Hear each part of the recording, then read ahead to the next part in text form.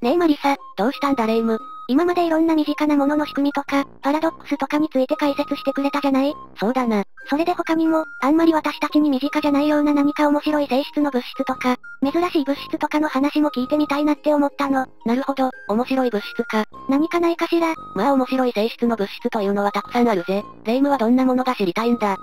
そう言われるとあんまり出てこないけど、最も〇〇な物質、みたいな話が聞いてみたいわ。じゃあ今回は、地上で最も黒い物質、について解説していこうと思うぜ。ぜよろしくお願いするわ。けど、地上で最も黒い物質っていうのは一体どういうことなのかしら黒色は全部同じ黒色なんじゃないのまあまずはその物質を見てもらおう。この写真に写っているのが地上で最も黒い物質と呼ばれている、ベンタブラックという物質だ。ベンタブラックなんだか穴が開いているみたいに見えるわね。そう、このベンタブラックは、黒すぎて立体感がなくなってしまう物質だと言われているぜ。立体感そう、実際にこのベンタブラックを物体の表面に塗ってみると、本来あるはずの凹凸が目視では確認できなくなり、まるで黒い穴が開いているように感じてしまうんだ。例えばこの画像は、アルミホイルの右側にベンタブラックを塗ったものだ。左側のアルミホイルは凹凸で光沢が現れているが、右側のベンタブラックが塗られた部分は、真っ黒で立体感がなくなって見えるな。ほんとね、なんだかもう写真が黒く塗りつぶされているようにしか見えないわね。このベンタブラックは、2012年にサリーナのシステムズという企業によって開発が始められた、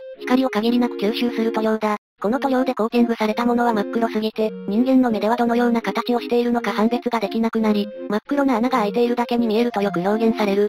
こんな不思議な物質があったなんて知らなかったわ。ああ、そもそも黒色というのは、物質が全ての色の光を吸収することで発生する。ほとんどの光が物質に吸収され、光が反射されないことで、私たちはそこを黒色と認識するわけだ。確か全部の光を反射すれば白色に見えるし、全部吸収すれば黒色に見えるのよね。そう、しかしどんな物質も光を100%吸収することはできず、一般的な黒色の物質では97%ほどしか吸収できない。つまり、2、3%の光は吸収せずに反射してしまうんだ。例えば球状の物質に黒い塗料を塗ったとすると、普通はこんな風に立体的に見える。黒くても光の反射によって、なんとなく物体の輪郭はわかるわよね。そう、これはわずかに光を反射してしまい、角度によって目に入る光の量が変化するため、黒い物質でも、明るい部分と暗い部分に分かれてしまうんだ。しかし、これがベンタブラックの場合だと、こんな感じに見えることになる。明るいところが存在しなくて、立体感が全くないわね。そう、実はこのベンタブラックの光の吸収率は99.965%。つまり、吸収できずに反射してしまう光は、わずか0.035%ということになるんだ。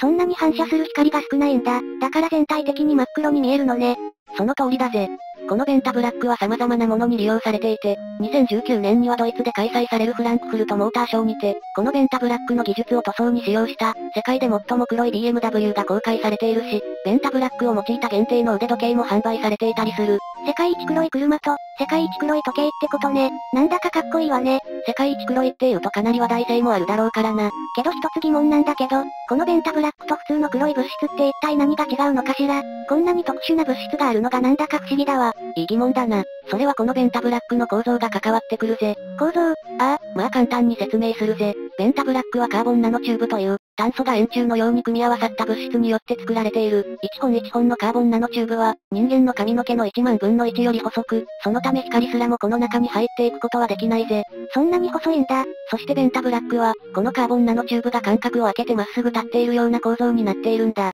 これは、チューブの森、と呼ばれ、入ってくる光をそのまま外には反射せず、その内部で何度も反射する構造になっている。つまり、光はベンタブラックの内部で何度も吸収される、ということになる。その結果、入り込んだ光のほとんどを吸収することができるわけだな。へえ、なんだか複雑な仕組みになってるのね。ちなみにベンタブラックのベンタ、というのは、垂直に並べられたナノチューブの配列、という意味で名付けられている。なるほど、このカーボンナノチューブから名前が来てるわけね。そういうことだな。このベンタに、ブラックという言葉をくっつけて、ベンタブラックというわけだ。意外とわかりやすい名前なのね。最近もより黒い物質を求めて研究が行われており、実はベンタブラックよりもさらに10倍黒いとされる物質も発見されていたりする。これより10倍も黒いなんて、恐ろしいわね。あれ、けどベンタブラックが最も黒い物質って言ってなかったっけ？ああ、しかし新しく見つかった物質は研究の途中で偶然発見されたもので、まだ深く研究もされておらず、名前もついていないため、名前のある物質としてはベンタブラックが最も黒い物質、ということになっているぜ。なるほど、科学技術もどんどん進化していってるってことなのね。他にも最近では、光吸収率99.2の世界一黒い水性塗料も販売されたりしているな。これは黒色無双と呼ばれる塗料で、リンゴやフィグアに塗ってみても、この通り漆黒のような色を再現することができる。リンゴの写真なんてまるで加工されてるみたいね。ああ、フィグアの方も、もともと黒かったフィグアの光沢がほぼなくなっているし、光の反射率がとても低いのが見て取れるな。この黒色無双も、原理的にはベンタブラックと同じように、塗料表面のミクロな空洞から光を取り込んで吸収し、周りに反射させないようにしているとのことだ。いろんな黒すぎる物質があるのね。けど、そんなに黒すぎるものを目指す必要ってあるのかしら別にある程度黒く見えればいいような気もするんだけど。まあ私たちの身近なところではあまり関係ないかもしれないが、物質の黒さを極めることは、とても有用なことだ。このベンタブラックには、望遠鏡の明光防止や赤外線カメラの性能向上など、様々な応用がある。どういうこと？例えば、望遠鏡などで遠くのかすかな光を観測する場合、望遠鏡内部で光が反射してしまうと、測定結果に影響が出てしまう。そのため、このベンタブラックのような光吸収率の高い物質を内部構造に利用することで、遠いかすかな星の光も捉えられるようになったりするんだ。他にも、地上や宇宙空間、大気中の機器の感度を向上させたりと、様々な用途で利用されているぜ。へえ、意外といろんなところで利用されているのね。けど、これだけ綺麗な黒色が表現できるんだったら、アート作品とかには利用されないのかしら。面白い作品がたくさんできそうな気がするわ。もちろんアートにも利用されているぜ。インド出身の彫刻家であるアニッシュ、カプーアはベンタブラックを利用した多くのアート作品を作成したことで知られている。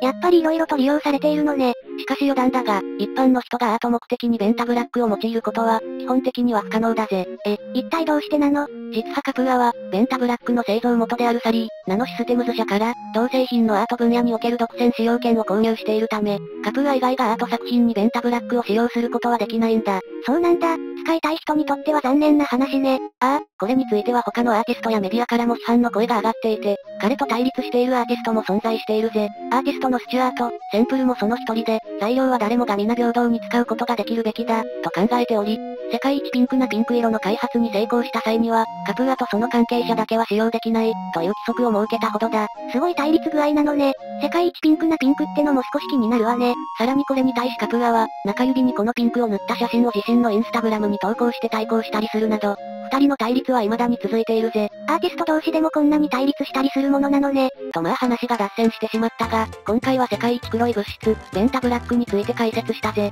黒さに強弱があるなんて今まで考えたこともなかったんだけど、なんだか面白い話だったわ。まあ世界一黒いもの、なんて普通考えることもないしな。今日もありがとうマリサ。喜んでもらえて何よりだな。たまには今回みたいな珍しい物質の話もしていこうかと思うぜ。えー、またお願いするわ。ということで今回はこんなところで終わろうと思うぜ。わかったわ。ご視聴ありがとうございました。